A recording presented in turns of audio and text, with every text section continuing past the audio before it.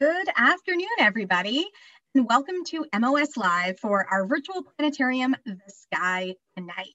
We're super, super excited to have you all here today. My name is Karen. I'm one of the many educators at the Museum of Science.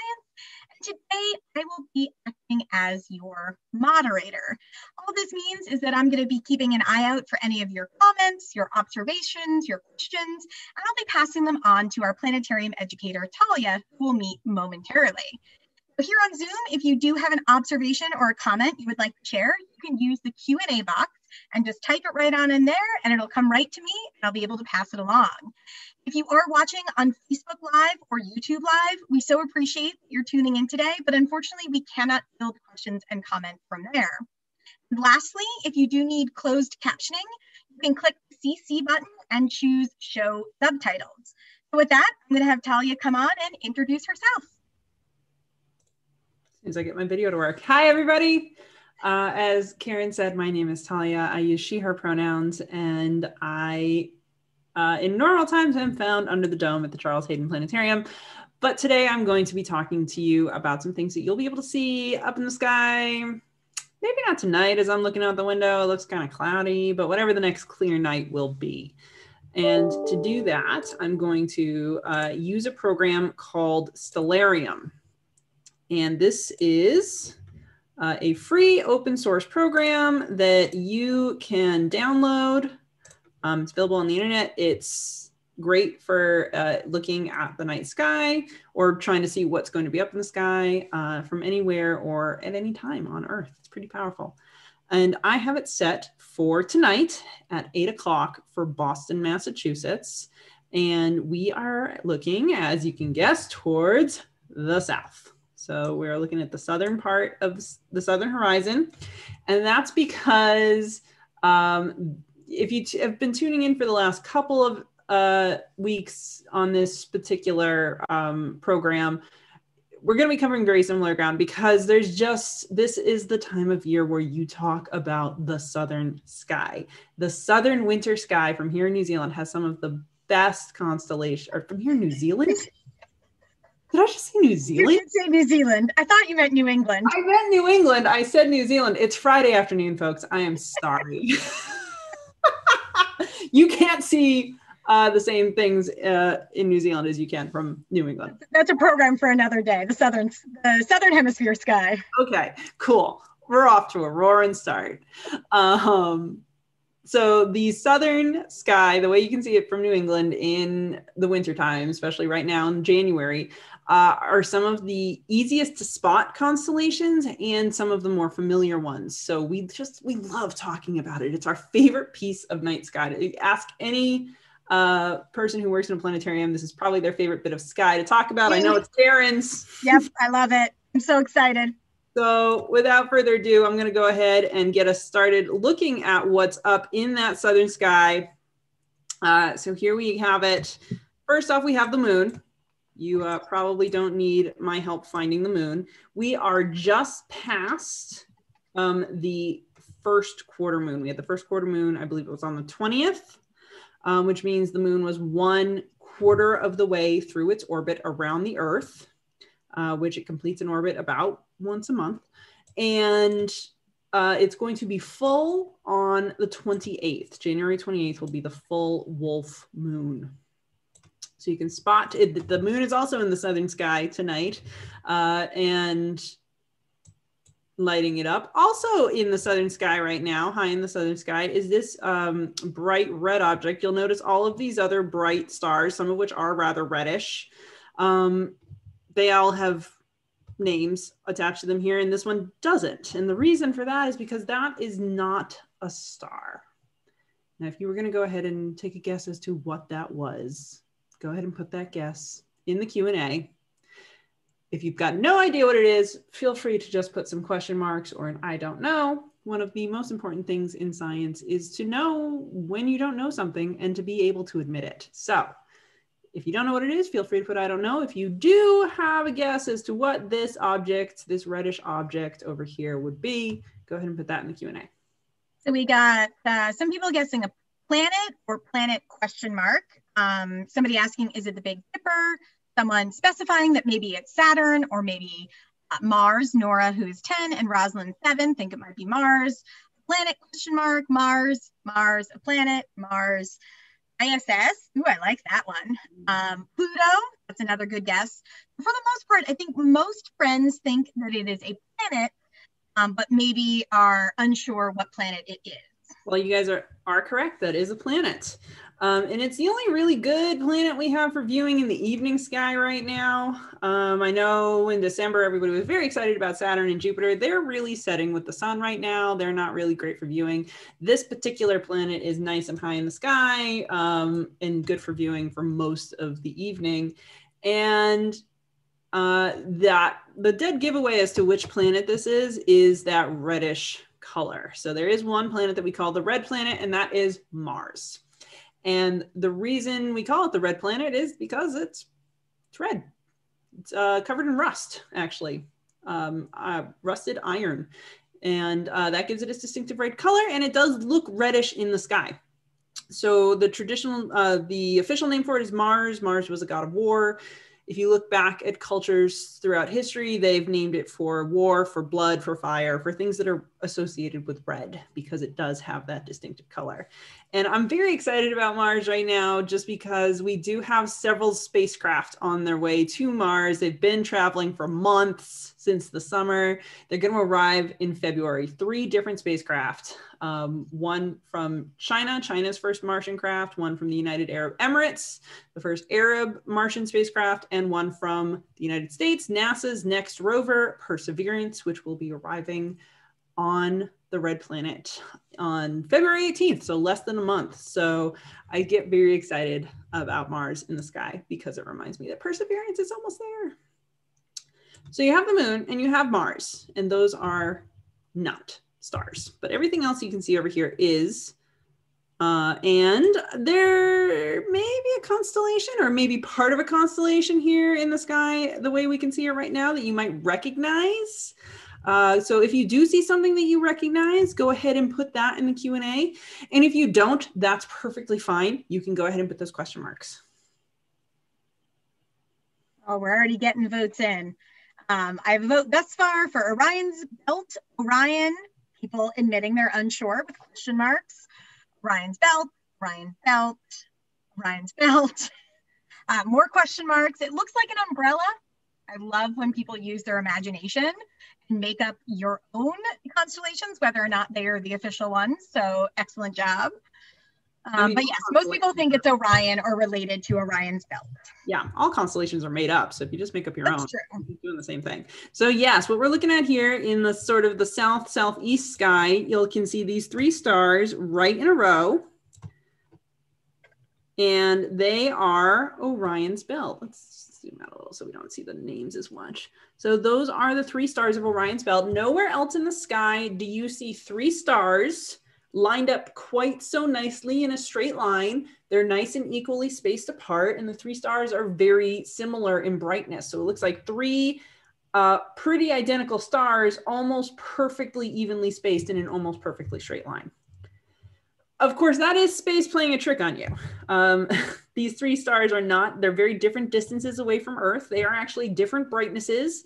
The one in the middle is actually much farther away from Earth than the two on the ends. So um, Alnilam here is farther away from Earth than Mintaka. You don't need to know the names, it's fine. Um, and there won't be a quiz later. Come on, Talia. No. So actually, Alnilam here is a brighter star as well. It's just also farther away. They just happen to line up like this. And it's really great because you can use the belt as sort of your anchor for looking at the winter sky. Now, that is just Orion's belt. There is more to him than his waist. If you go up from the belt on this side, there's a shoulder. Over here on the other side is his other shoulder, the bright red star, Betelgeuse. Uh, in between his shoulders here is his little tiny head. Down from the belt on this side is a knee. Down from the belt on the other side is his other knee. And Orion was a hunter so um, in mythology in greek mythology and like most hunters he has weapons so it's very faint and hard to see you can sort of see it a little better if i zoom in there is an arm holding a sword coming up off of this shoulder in the other hand is this curve of stars, which is sometimes depicted as a shield. Sometimes it's depicted as a bow, but he's definitely holding something, a shield or a bow or something in his other hand, which is represented by this curve of stars. And he has a scabbard for his sword hanging down below his belt because you got to have somewhere to put it when you're not using it. So that is the constellation Orion. I'll go ahead and put the uh, the lines for that constellation up there. And what do you think? Do you, if you were seeing this for the first time, would you think that this looks like a hunter in the sky? Just, you know, a yes or a no, or I, maybe? For me, I think it looks like an hourglass. Mm, I do definitely see an hourglass there. If you sort of discount the club above his head and the shield bow out front. Mm. Um, other folks are question mark. Uh, votes very emphatically for no with lots of uh, exclamation points. It does not look like a hunter. Um, let's see. Sure, I'd like more of his legs to really complete the picture. I like I like the well thought out answer there. Kinda, definitely not. Well, I have good news and bad news. The good news is that um, I agree that this doesn't necessarily look like a hunter. Uh, the bad news is that Orion is one of the constellations that looks most like what it is supposed to be. So we're gonna have some interesting uh, shapes. Someone says they like that he's wearing a kilt. Sorry, I just had to get that one in there because I appreciate that comment. Um, so you know, whether or not you do think Orion looks like a hunter, I think it's a little eh. Um, this is one of the ones that looks most like what it's supposed to be. So some of these Ready other for a fun ride. Fun. We are in for a fun ride. Now, Orion's belt is a very handy pointer. Once you have found it in the sky, like I said, you can sort of use it as your anchor to find other things in the night sky. It's a very good pointer. So if you follow the direction that it points up to here, this sort of other bright red star, we've got two sort of bright reddish colored stars in the sky near each other. I like Aldebaran and I always think it sounds like Alderaan from Star Wars, um, but it's not. Aldebaran is, um, you know what I'm going to do? I'm going to put not the line, uh, just the line. I'm also going to put the picture up there just so you can see what Orion is supposed to look like. I sort of skipped over that part. Um, so there he is, and he's got his uh, his weapon raised because he is in the middle of a fight, and uh, you can use the belt to find his opponent. It will point you to this bright red star Aldebaran and to this sort of V shape, which I can zoom in on right here, this V shape in the sky, which um, tonight is very close to the moon. The moon is going to be moving along in its orbit, so it's not going to stay very close to this V shape. But you can definitely see that V shape in the sky. That is the face and head of Orion's opponent. Aldebaran, that reddish star, marks one very angry eye of Orion's opponent. And I should say that half of Orion's opponent is in the sky. Only half. Um, so what there is of a body comes down in this direction and then out in this direction. So it's sort of right here. And then coming up off the top of the head are two big long horns. Now, who or what do you think Orion might be in the middle of a fight with uh, that has two big long horns on the top of its head? While we're waiting, I'll just note Greeks really liked putting half animal constellations in the sky because Pegasus is another one that's a half. Yeah, they did it a couple of times. uh, so it sounds like folks know what we're looking at. We got Taurus, Bull, the Red Bull, um, probably, I guess, based off of that angry red eye. Ooh. Um, is that a last unicorn reference? Because that's my new favorite audience member. oh, I don't know. I, I haven't heard of the last unicorn. Uh, but maybe our friend will mention if that's what your reference was. Um, that's a staple of my childhood, the slightly terrifying cartoon, The Last Unicorn, in which a very angry red bull is a feature. But yes, this is a bull, or the front half of one anyway. It's Taurus the bull. It's supposed to be his front half. Um, I don't know. Do you guys think this looks like the front half of an angry bull? What would oh. you call this? I would not go with front half of an angry bull, personally. Uh, I don't even know what I'd call it based on those lines. Yeah. Nora and Rosalind say no, it doesn't look like a bull. I sort of see it. The head is really small. And, and I feel like once we've heard what it is, we can imagine it a little bit better, but it's the people that imagined it right off the bat. I Um, four-legged spider. That's kind of what I, I was thought. a four-legged spider, but it's interesting that you th- mentioned the people who um, saw this right off the bat. This is one of the constellations we think is very, very, very, very old. So um, many different cultures from around the world have their own. I like uh, this one. It looks like a long telescope. That's a that's a nice one. They have their own sets of constellations, um, and in most of them, there, there might be similarities, but what they saw in the sky was very different. There are a few constellations out there where what people thought they were was very similar across many different cultures over many different time periods. And the idea is that that happened because the that constellation was very very old. And we actually know that Taurus is a very very old constellation. There is actually a cave painting of this set of stars marking the face and the horns um, with a bull painted on top of it. So we know that this the idea of this group of stars being a bull is quite old. I still, again, don't know how they got there at the beginning, but uh, there he is. now outside it looked like an X-wing. I knew you'd appreciate that Oh, one. I like the X-wing. yeah, now that's all I'm ever going to be able to see. Taurus the X-wing. Taurus the X-wing. So there he is, the very angry bull who is charging at Orion. Um, and I don't know what Orion did to irritate the bull. Personally, I try to avoid irritating animals with huge horns on the top of their heads. But he has clearly done something because the bull is charging at him, and Orion has his weapon raised. He's ready to defend himself. And these two are locked in combat in the southern sky. They take up a pretty huge chunk of the southern sky, and they are really the heart of the winter sky. Um, so the very first bits of Taurus are to rise are sort of when my indication when I'm looking at the night sky in the fall that the winter sky is preparing to rise. Uh, and Orion is what I call the king of the winter sky. He's the center of the winter sky, the most prominent uh, of the winter constellations. And Orion may may not be doing okay in this fight against the bull because uh, he there's a wound in the shoulder of the bull. You might notice this little group of stars right here.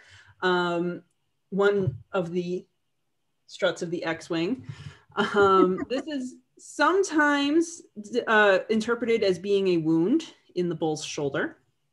Uh, it is, however, what it is is a star cluster, and it has its own name. And the great thing is, it's pretty easy to find in the night sky, even when it's not near the moon. First of all, your eye tends to be drawn to it anyway because it is a little cluster and stars don't usually cluster like that. The eye is sort of drawn to it. It uh, kind of looks like a little, little, little, little, little, little, little, little dipper. But if you are having trouble finding it, Orion's belt does point to it. So if you follow the belt through the curve of his shield, through Taurus's face, it does point you to this little group of stars, which uh, has the name the Pleiades or the Seven Sisters. And this is an interesting, another interesting, very old concept, we think, because cultures as far apart as um, Aboriginal Australians and Northern Europeans saw this as seven female figures. The Greek name Pleiades means the seven sisters. But so we think this is another uh, very, very old idea, especially since you might be looking at it saying, wait, I don't see seven stars there. That's because you really can't see seven. You can really only see six. But again, cultures from all over the world interpret this as seven female figures. And if you go back far enough, two of the stars in this cluster were a little bit farther apart and were able to be depicted seen as two stars. So we think once again the seven sisters is a very very old concept. And as I zoom in, you'll be able to see there's more than seven stars there. This cluster actually contains hundreds of stars. If you look at it with binoculars or a telescope, you can see a lot more of those stars. Um, and what this is, is a bunch of very young stars, young meaning less than a million years old. Um, and they are still surrounded by the wisps of the nebula that they were born from. And they're all siblings. They were all born from the same nebula. And our sun would have once belonged to a cluster like this. um, when it was first born. It would have been surrounded by other stars that had been born out of the same nebula, its siblings. Um, over the last, you know, five billion years, all the stars from that cluster have drifted apart. We think we might have found one or two of the sun's siblings. As for the rest, you know, they don't call, they don't write, they don't come home for holidays. We just need to get those uh, ancestry DNA right? Go. Isn't that how you find your long lost siblings? Uh, well, in terms of how you find it with stars, what you actually look for are stars that have very similar um, makeups to the sun. So, you know, most stars have very basically similar, but in terms of very fine amounts of what elements they have inside of them, stars with very, very, very similar amounts probably came from the same nebula because the nebula would have just had those elements in that amount. So that's what you can find if you follow Orion's belt up. You can find the face of Taurus the bull, you can find the Pleiades, and you can find other things if you follow it down because Orion was dumb enough to pick a fight with an angry bull. He was not dumb enough to do it on his own. And if you follow his belt down, it points to this extremely bright star, which has a name you might recognize Sirius. That's maybe a name you recognize from the Harry Potter novels, which in which the character of Sirius Black can turn into a dog.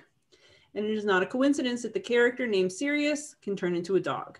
He's named after this star, which is called the dog star, Sirius the dog star, because it's the brightest star in a constellation called Canis Major, which means big dog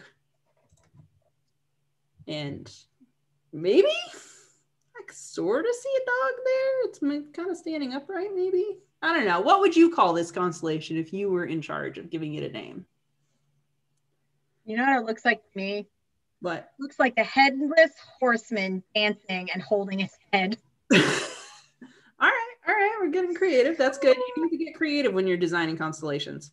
Uh, looks like a fox or a dancing man. See, somebody else thought it was a dancing person. I just called them the headless horseman. Uh, it looks like a triangle dog. Um, I could see it if Sirius is the dog's shoulder. Mm. As opposed to like its neck. Like yeah. I see it, I see it as a dog. Uh, I see it when I turn my head to the left. Ooh, that's an interesting um, sort of sky gazing prick also. So very faint objects. If you look a little to the left or the right, can usually see it better cartoon dog. I think named Maybe a cartoon dog. Anyway. Yeah. This is a very interesting looking dog. Um, there he is, Sirius, Orion's loyal hunting dog. Pounds of the underworld in that artistic rendition. Uh, he's trailing behind his master in the battle against the bull. And again, you can find that by using um, the belt. The belt will point you to it. Now, Sirius is not the only Harry Potter connection in this patch of sky. You may have noticed when I clicked on this star earlier, Orion's shoulder, it's named Bellatrix, which is another character from Harry Potter. You, of course, probably have heard of a character named Beetlejuice. Got to go back a little farther in time to get to that movie character. Uh, Orion, interestingly, has had bo- both of his shoulder stars have had movie characters named after it, which is an odd distinction. Um, and to find Orion's second companion, we're not going to use his belt. We're going to use Betelgeuse, which roughly translated means armpit of the great one. Which, you it's about where it's armpit. His armpit. He's his armpit. And he's a great one. You can make a triangle out of Betelgeuse, Sirius, and this bright star over here, which just has the really awesome sci-fi sounding name of Procyon. So Betelgeuse, Sirius, and Procyon make an almost perfect triangle over here in the southeast sky. And Procyon is the brightest star in Orion's second companion. And I think this time, I'm just going to put the stick figure up there and have you guys tell me what you think it's supposed to be without telling you beforehand. So there's the stick figure. Go. You're not seeing it wrong. There are only two stars in this constellation. What do you think that is? It's a stick. A Sirius. A line, somebody suggests. Baton. So I'll give you a hint. A ladder. You may have heard a uh, bone for the dog. Sorry, they were taking a little while to come in.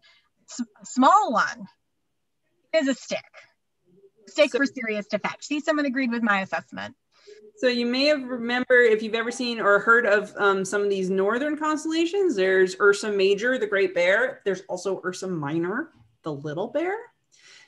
And here we have Canis Major, the great dog. If you have a great dog, if you have a Canis Major, you need to have a Canis Minor, the little dog. And that's what we're looking at here. The only dog I see there is a hot dog, but this is in fact meant to be Orion's loyal hunting puppy. So there they are, Orion and his loyal hunting dogs. Um, as you can see, taking up a huge chunk of the southern sky. Right now, this is where they are at 8 p.m. Um, they will be moving at 8. If you keep looking for, at them for them at 8 p.m., you'll see them over the course of the next like month and a half progressing their way uh, towards the western half of the sky. But this is the middle of winter. This is the time for these constellations to reign over the southern sky. You don't have to go out and look for them right now. Like I said, they're going to be visible for like the next month and a half really easily. So go ahead the next clear night, head out, look for Orion and his belt, use the belt to find the bull, use the belt to find the dog, use Betelgeuse and Sirius to find uh, the two stars of Canis Minor, the little dog, and see this epic battle play out for yourself. Now, I know I talked a lot and we don't have that much time, but I would love to answer some questions, Karen, if any came in there have been two that I've been hanging on to here in our Q&A. Um, when we were looking at specifically Betelgeuse, Aldebaran, and of course Mars, someone asked the question of why are the stars red? That is a great question. So stars, when they uh, are red because they are cooler. So a star's um, color is determined by its temperature, and we can sort of zoom in again. Orion makes a great example because you've got, say, Rigel, his knee star, which is a nice bright blue. Bellatrix is also a bright blue star. Betelgeuse is a red star because it's cooler. These blue stars are blazing hot, like 25,000 degrees on their surface. Betelgeuse is going to be cooler, more like 4,000 degrees. The sun is a yellow star. It's more like seven, 6,000 degrees on its surface. And there are two reasons why a star is sort of that color, why it's that temperature. Either it just formed that way. Small stars are very dim they tend to be very cool and they tend to be very red. We can't really see those stars. They're so dim that we can't see them with our eyes. When we can see red stars like this, that means they're big stars that are approaching the ends of their lives. They're running out of fuel. And when they do that, they swell up. And when they swell up, their outer layers cool off. So Betelgeuse is a star that is a, a really massive star that's going to go supernova pretty soon, like in the next million years or so. So, you know, soon on a astronomical time scale. Aldebaran is a more is a smaller star. It's more like the sun. Um, it is also it's closer to the sun in size. It is, however, also cooling off and swelling up, and its outer layers are um, turning red. So that is why Betelgeuse and Aldebaran have a reddish color, and that's why if you see can see stars with the reddish color in the sky, it usually means they are stars that are running out of fuel. All right, I know we are like just at the end of our time, but we had one other question. Um, when we were looking at the Pleiades, someone asked, can you ever see a star being born? Not really, because when they're born, you can actually see a star forming region in Orion's um, scabbard right here. It looks like this big cloud. This is the closest star forming region um, to Earth. This is the Orion Nebula. And you can see the stars in it look really tiny. And stars don't form immediately um, they form over the course of like a hundred thousand years. So they form pretty slowly. What we can do is we can look at nebulas like Orion with big telescopes like the Hubble Space Telescope and look at stars that are in different stages of formation. And from that, we can figure out what the whole formation process looks like just by looking at the different stages of it, um, by looking at different stars. But unfortunately, we can't just watch a star being born. Awesome. Well, this was a lot of fun, Talia. So I want to thank you for kind of taking us on a tour of the Southern Sky. As you said at the beginning, it is one of my favorite parts, not only to look at and learn about, but also to teach about. Um, I do miss uh, teaching in the planetarium with all the stars. So hopefully someday soon we'll get back in there and maybe some of these friends here will visit us at the museum. Hopefully everybody can give Talia like a nice silent cheer for taking us on our journey. I also want to thank all of you for joining us today. Um, hopefully you had some fun. You learned a few new things. Um, if you want to know sort of what we're doing for these live streams, you can check out MOS at home on our website. Uh, if you enjoyed this presentation and are able to do so, we would love for you to consider making a donation so we can keep doing programs like this for all of you. Um, and if you were curious what program Talia was using, it's called Stellarium. It is a free open source uh, product, so you can just find it online and download it and kind of play around and you can go far back in time to see what the sky looked like. You can fast forward in time to see what the sky will look like next week, next month, 100 years from now. So it's kind of a fun product to, to play around with. But again, I want to thank you guys for coming out. I hope you had some fun and definitely enjoy the rest of your Friday.